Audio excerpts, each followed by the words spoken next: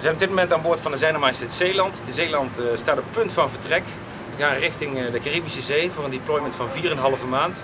We zullen de Zijner Majesteit Holland aflossen, die daar de afgelopen tijd uh, aanwezig is geweest. We zullen een bijdrage leveren aan de veiligheid in het Caribisch gebied. Veiligheid met een kleine V, zoals het opsporen van drenkelingen, het helpen van schepen in nood. Maar ook veiligheid met een grote V, zoals we bijdrage leveren aan de criminele activiteiten rond dat eiland en dat is vooral drugsgerelateerd.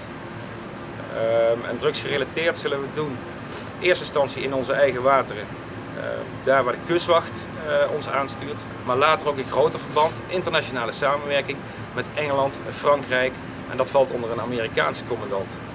De heenweg daar naartoe, via de, trans, uh, via de Atlantische Oceaan, er zijn een aantal eh, strategische routes, drugsroutes in kaart gebracht door een eh, instantie MAOC, dat is een internationale politieorganisatie.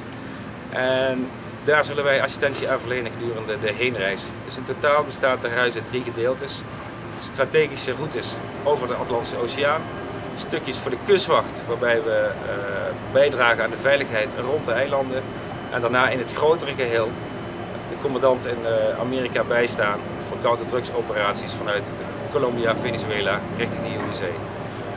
De Zeeland is er speciaal voor ontworpen. Uh, het schip is geen fregat, uh, haalt geen vliegtuigen uit de lucht, haalt geen onderzeeboten neer, maar is uitermate geschikt voor dit soort werk. Hij heeft twee interventie speedboten, maximum snelheid van 40 knopen plus heeft een helikopter aan dek, heeft boardingteams, heeft een kleine hospital. We kunnen noodhulp leveren aan, uh, aan uh, mensen. We hebben containers uh, aan boord, een grote kraan die de containers kan verwerken.